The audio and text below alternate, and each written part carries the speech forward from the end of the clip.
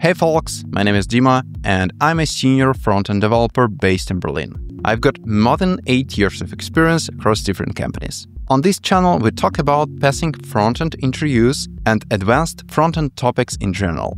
If you're preparing for an interview or working on your career as a web developer, you will find some really good stuff here. Today, I want to discuss front-end architecture patterns and how we can apply them in modern front-end applications written in React or Vue or other web frameworks. The problem with architecture patterns is that you can read many books and articles, but without practice, you won't be able to apply them in a real web development. This creates a gap between knowledge and skills.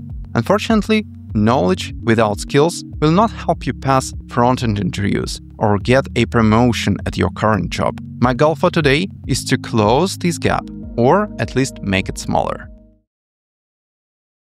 So let's start with an MVC and MVP, Model View Controller or Presenter. If you forget, here's a quick reminder. Model is data plus business logic. View is just a UI. And controller or presenter is like a bridge between model and view. I found these patterns very similar, so I decided to combine them into one section. It's not like only one definition of MVC or MVP. If you open Google and type MVC examples, you will find hundreds of different examples and explanations why other interpretations of these patterns are wrong and this one is correct.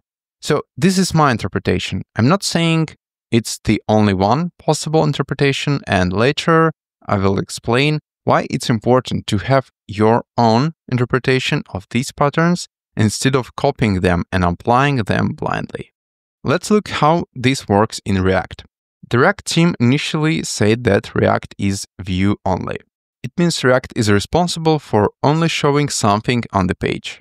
It's not responsible for logic, it shouldn't contain any business rules or data management. React component gets some props and decide how to render them Here's the example of the employee component. Uh, this component gets some data and renders this data on the page. Where do these props come from? When I was working on this video, I noticed that the current architecture explanation might still be too abstract. So if you want even more details and real examples, please let me know in the comments. And now let's go back to the video. Props is basically data from a database, a list of employees or clients. In an ideal world, we get this list and render it as is.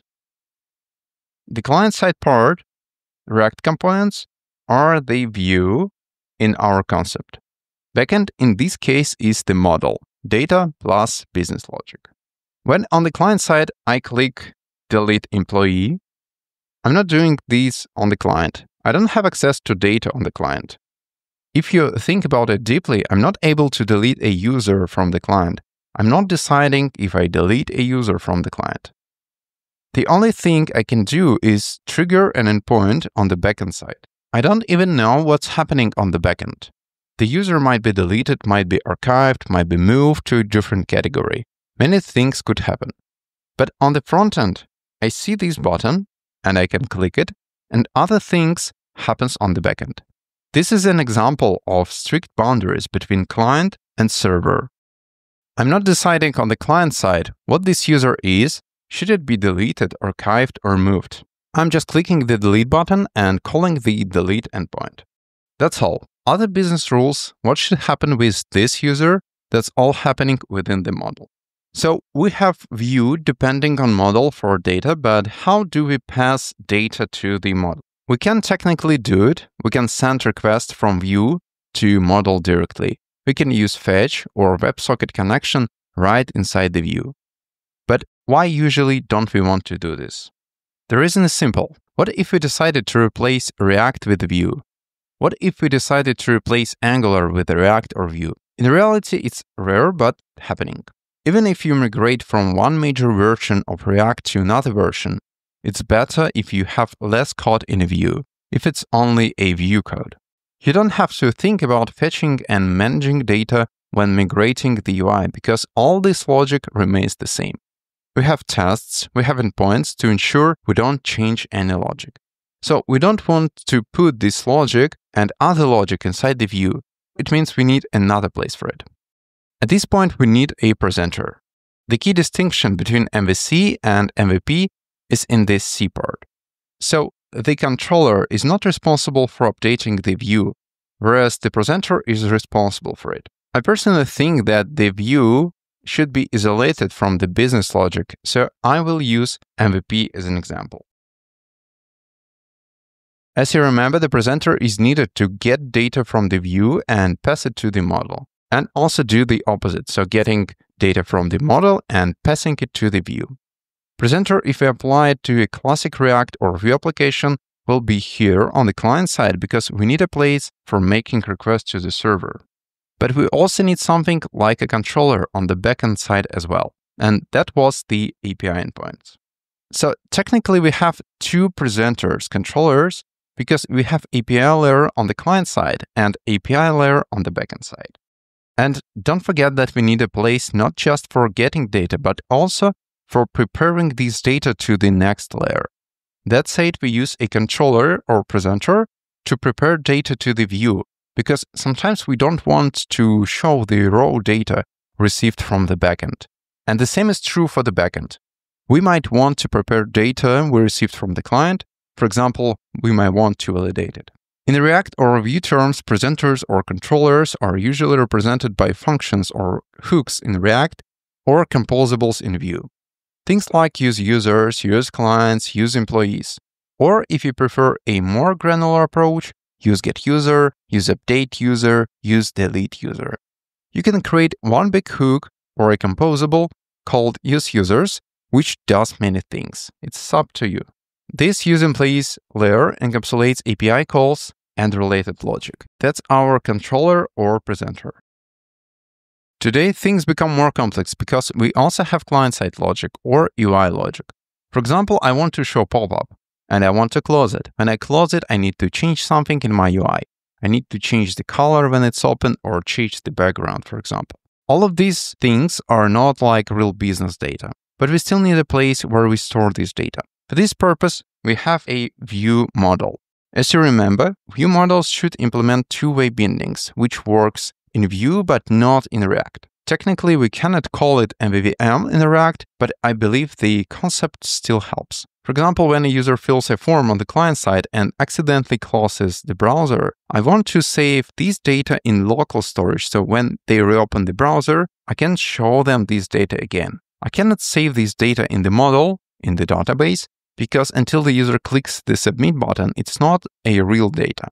I prefer to move this to the view model category because it perfectly describes it. It's a model, but only for the data we see on the page. At this point, I want to highlight that the purpose of my previous video about frontend patterns wasn't telling you to use these patterns strictly. It's important to know about these patterns and how to use them properly, but we don't need to strictly follow them all the time. I saw projects where developers tried to do it and it didn't help. Problem with all these guidance in the internet for these patterns is that authors of these guidelines try to make something simple like a to-do list and try to show difficult concepts based on this. Every project is unique and you cannot apply generic things to unique projects. Think about it like a diet or a gym program. You can get a perfect program from a famous bodybuilder, but it won't work great for you because you as a human have unique traits that couldn't be considered in this program. Maybe you don't have access to some equipment. Maybe these replacement of exercises aren't good for you because your arms are too long or too short.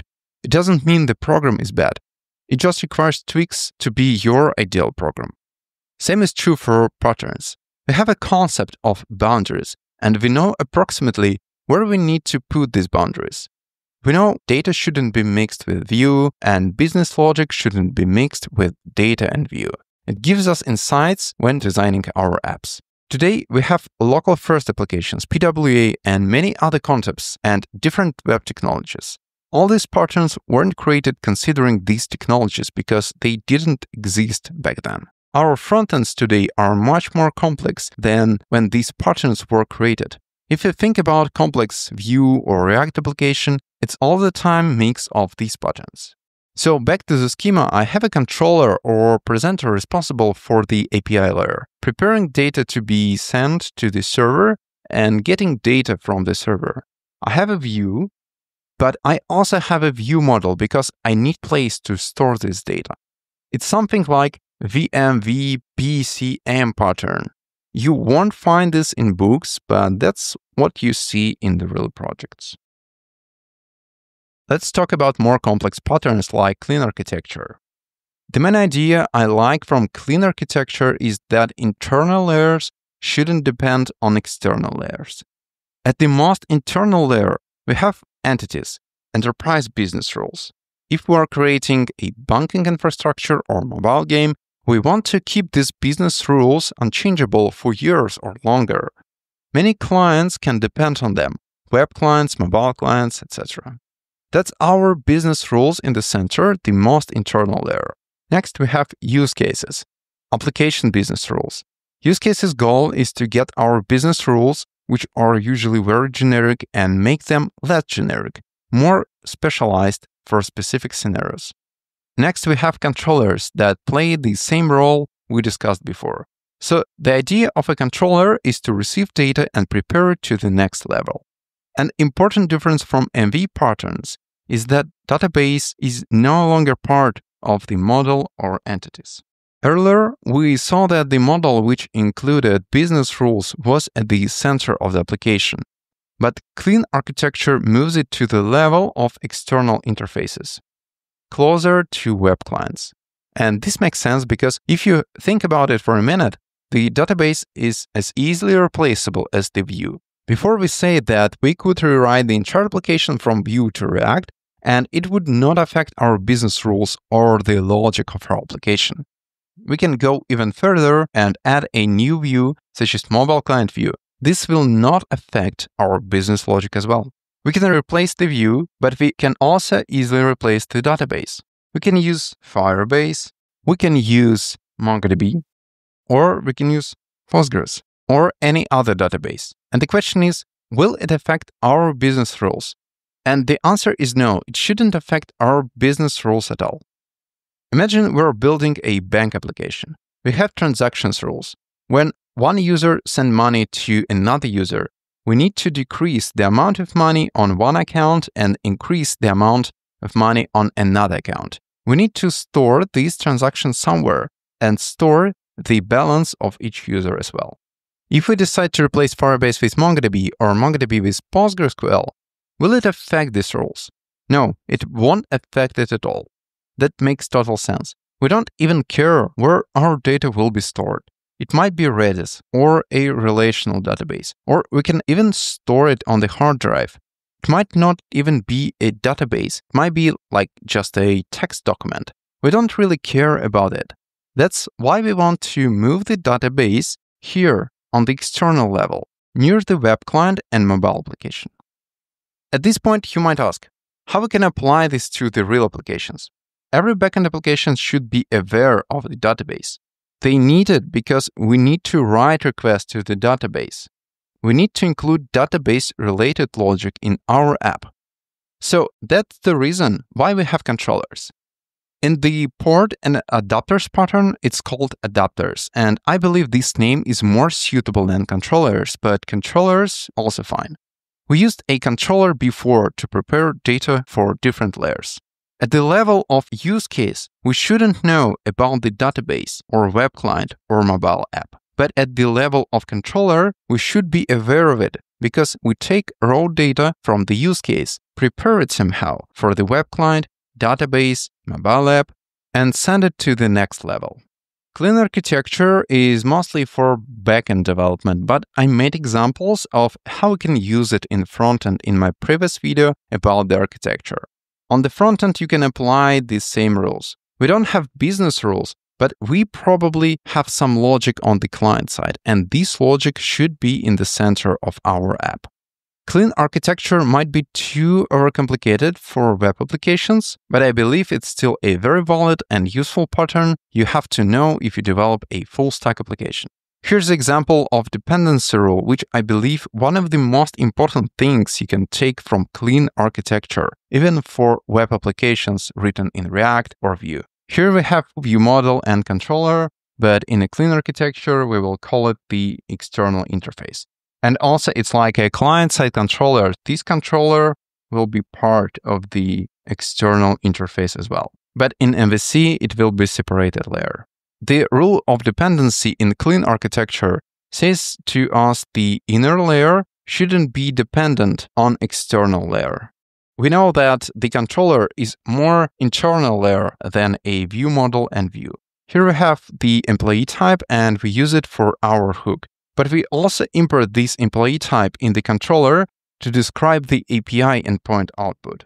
This is a problem because the inner layer controller depends on the external layer. We import these types from UI hook, which is not good. Here's how we can fix the situation. Same hook, but now we import the type from the controller. In our case, the controller is the source of truth. Every layer outside of the controller should be dependent on the controller. This is an example of how we can apply the dependency rule on the front-end side. The previous patterns talk in big, wide layers. Now imagine you have 50 components, 30 hooks, and 20 stores. Patterns like MVC and MVP and others helps us to describe the high-level architecture in the app, but they don't tell us how the code should be organized internally. Let's see how it works in React. Instead of having just view, controller, model for entire app, we have features. Notice how everything related to employee functionality lives together. The hook handles API calls and data management. That's our controller or presenter. The use employee form hook handles view specific state, like whether a pop-up is open, that's our view model. And the component just renders, that's our view. This approach gives you multiple benefits. First, when you're working on employee functionality, everything you need is one place. Second, if you need to remove or refactor the employee feature, you know exactly which files to touch. Third, different developers can work on different features without stepping on each other's toes. You can still use MVC, MVP, MVVM, or any other pattern inside each slide. This gives you separation of responsibility both across the app and within features, and it scales much better than organizing everything by technical layers. The key insight is that as your app grows, you need modularity at multiple levels, not just separating view from controller, but also separating different business domains from each other. Here's some final thoughts before I wrap up the video. Knowing patterns doesn't mean you need to strictly apply them. The good thing about patterns is that all developers have a common language. For example, during code review, you can say something like, this is the view logic, keep it isolated, please. Or move these to the controller, and other developers will understand you. Second, you should think about patterns in terms of boundaries and separations of concerns. That's the red line that runs through all the patterns. And third, each project is unique. My goal in the previous video was not to say that you should strictly use patterns as I showed. In a 40 minutes video, I can't cover all possible implementations because every project is unique. My goal was to give you the tools and mental models so that you can apply these patterns fully or partially, whatever fits your project, and adapt them to modern realities. That's all for today. I hope you found this video useful. If you did, please don't forget to click the like button and subscribe to the channel. See you in the next one. Bye.